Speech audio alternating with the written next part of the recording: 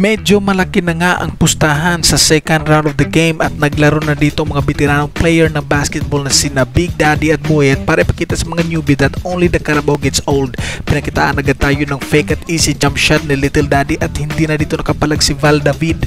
Babawi sana dito ang kupunan ni Boyet kaso hindi pumasok ang bola at na-rebound ni Manny. Gusto mabul ni Calix. Wait a minute, naiwanan ni Manny and Manny got that score with this easy layup. Pumasok naman ang aliwop ni Calix dito na hindi makapanawala pati ang audience sa ginawa niyang kalukuhan.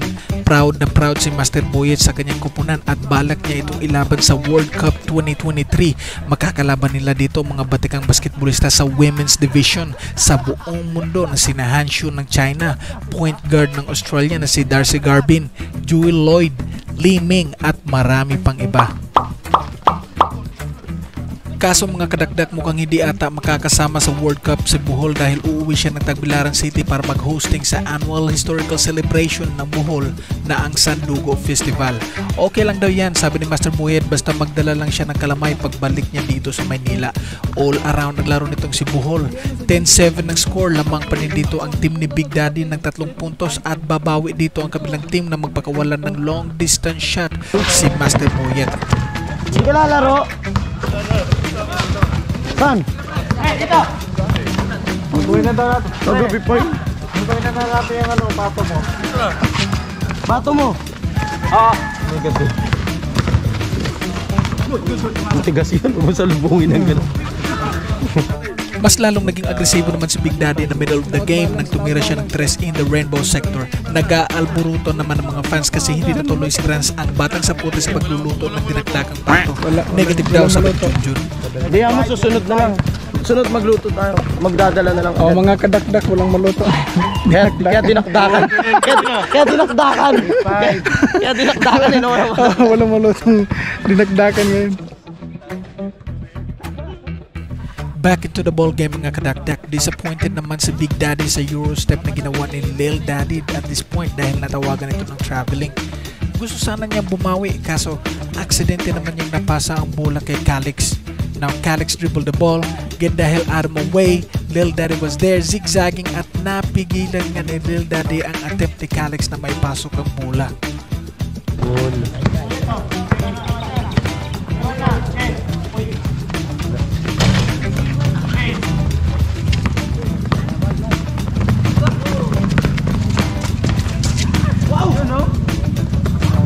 Makasagam. Bakit? 1-8. Umiyak! Uli! Uli! Signal mo. Hindi, dito kami kumantuan yun. Mga kapirahan to eh. Focus ka muna. Dalawa, dalawa. One.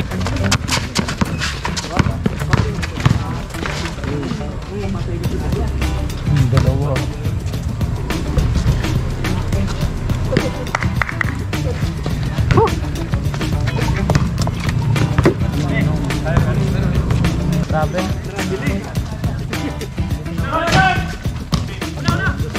Dalawa. Grabe.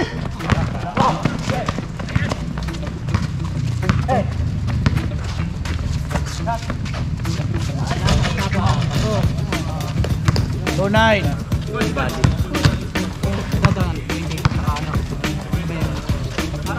Sino pa yan? Isa uh, anak niya?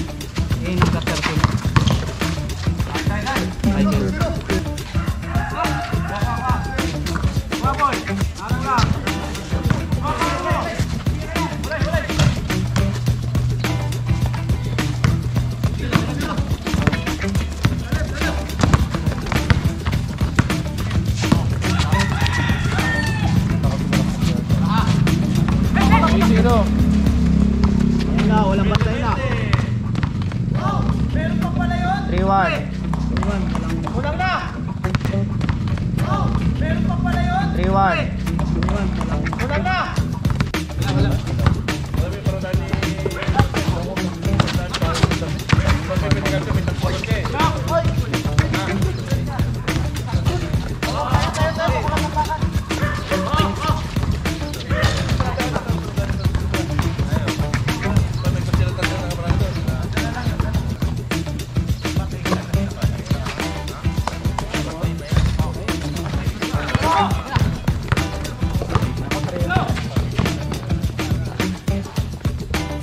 Spor.